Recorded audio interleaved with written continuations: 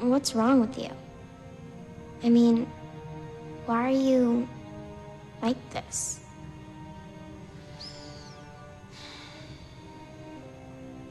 You know that thing that made you flinch?